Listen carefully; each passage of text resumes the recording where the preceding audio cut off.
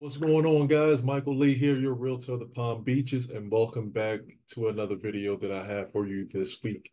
So, to all my subscribers, welcome back. And if you guys are new to the channel, my name is Michael Lee, your realtor of the Palm Beaches, and it's my job to help you guys find the best hidden gems in Palm Beach County, whether that's a $5 million home on the ocean or a beautiful townhome in the middle of the city.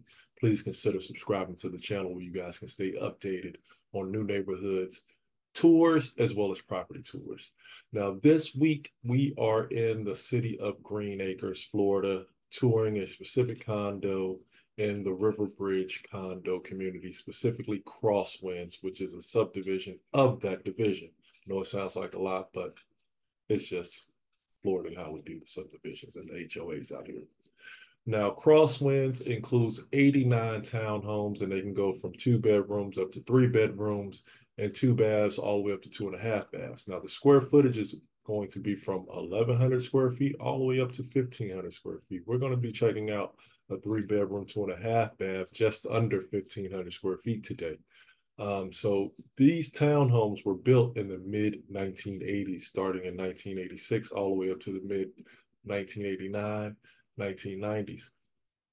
Now, there are a few condos and townhomes that were built in the early 2000s, specifically 2000 to 2001, but those are very, very small out of the 89 condos slash townhomes that we have in this community. So without further ado, let's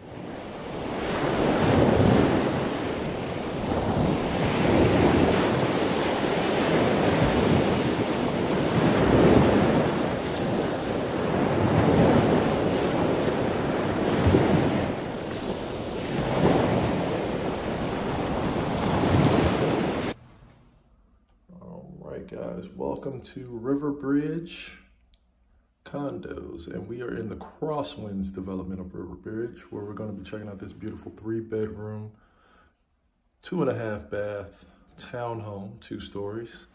And what's interesting about this particular property here is that the seller has had the option for you guys to purchase all of the furniture that you see here included in the video. So that's why I'm going to kind of show you guys the furniture in a little bit more detail than I usually would because you do have an option to purchase this furniture included. So you can just, just bring your clothes if you need to. So we're gonna start with the first floor. Open floor plan that connects the kitchen. Well, this necessarily isn't an open floor plan, I apologize for that. But you do have the kitchen in the back with a separated space, as you can see with that large mirror, but you do have the dining and living room connected. So you do have space for a five-seater, square, round, rectangular, whatever fits your fancy, or you can just keep this in place and just bring your stuff. Everything has been meticulously maintained. Right here off of the living room is the half bath. So this is going to be one of three bathrooms. So that's why I said it's going to be a two and a half bath in here. So this is your guest bath. So if you have guests over, you know, you do can, uh, you guys can just access the bathroom on the first floor and don't have to go upstairs to the second level. Now, immediately off to my right here is going to be the stackable washer and dryer. Again on the first floor. So I don't know how I really feel about, you know, coming down all the way downstairs. If, you know, your washing dryers downstairs, that may be a little bit of an issue for a few. But I understand it's being on the first floor as well. As we're gonna walk into the kitchen, definitely a coastal vibe throughout the household as you'll see throughout the tour with the pastel colors. Stainless steel appliances throughout. As you see, she has some artwork up on top of the cabinets. Granite countertops farmhouse sink, stainless steel appliances, and double-sided fridge. So pretty standard, very clean, very straight to the point. And then before we go outside, it's, it's a little bit of a muggy weather outside, so I'm not gonna step outside today, but you do have an enclosed patio screened in.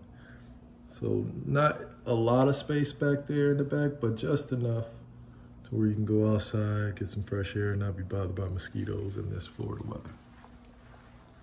So with that being said, let's go check out the second level. Oh, also before I go upstairs in the second level, this is access to your one car garage here. So you do have a one car garage outside connecting you straight through. So this will be your entrance from your one car garage here. Now, so as we make our way up to the second level, when I toured this property a little bit earlier, this thing does make me feel short because of the way they did the ceilings.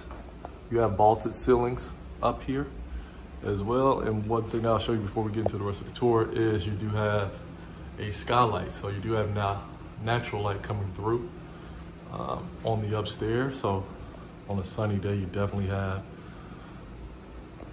some natural light coming through. Now, if you're not a big fan of natural light, that may be a turn off for you. But if you are a fan of natural light, you'll love that. So here's some more artwork here. Like I said, all of this furniture and art pieces are included with the sale with the exception of televisions. They are going. So let's check out the first full bath. You see tile upstairs, basic tub, nice vanity. Now they do have, I believe that's an automatic toilet, but it's for another day, I guess. And then you also have cat taking a bath. Pretty interesting. So as we go down the hallway, immediately to my right is another bedroom here. The first three have this setup where, you know, if you have two children, you're sharing a bedroom, you have guests. It definitely has like that resort type of feel to it. Um, nice, clean. You know, they have views of the front of the neighborhood as well. Stay in the closet space, a little bit of additional storage up top if you need it. Now this third bedroom, before we check out the primary, is staged as an office. So if you have that third child or you know, you want to use that as a third bedroom, you can, or you can keep it as an office as is.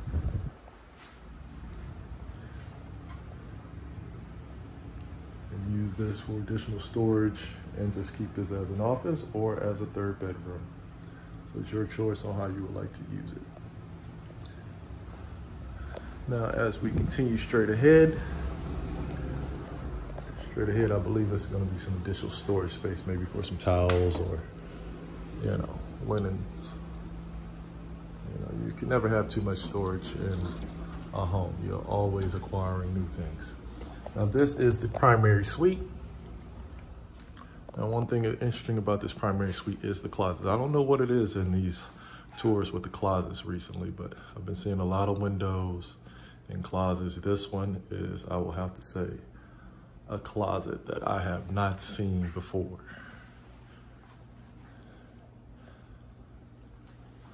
So, now, I've been in quite a few closets, but I have yet to see, outside of Texas with those videos on Instagram with the two-story closets, I have yet to see a closet with three-story racks that, like I'm a tall guy, I'm six 6'8", and I can't even get to the top of that rack. So you're looking at about I want to say 15 foot ceilings in the closet. So you have tons of storage space to go up in this primary bedroom closet, which I think is kind of incredible because I did not see this in this uh, particular townhome. It's cool. Last but not least, we'll check out the primary bath, dual vanity sinks. You have some additional space for some storage. They did include another storage cabinet here just to give you an idea what you can put here. You can also add more storage if you need to, maybe a lower rack storage for maybe six drawers you can have there, or maybe, you know, two of these here, however you want to design it, but there is space for more storage in the bathroom if you need it. Or you can just expand this and maybe bring it all the way down to the to the edge. So shower included, freshly tiled all the way up to the ceiling, stainless steel, same as the guest bathroom in the hallway and downstairs. And then you also have additional storage space for the vanity as well. So you have this all blocked out, you know. So there is a ton of space if you need it. And like I said, all of this furniture can be included in the asking price if you need to have it included. So as I walk downstairs, I'll tell you guys there is a HOA on this one. So it is $730, whether it's monthly or quarterly. I'll put it in the uh, description as I'm walking down the steps to let you know exactly what it is. But if you've lasted this long to the video, thank you guys for watching. Don't forget to like and subscribe to the channel. And I'll see you guys in the next video. Peace.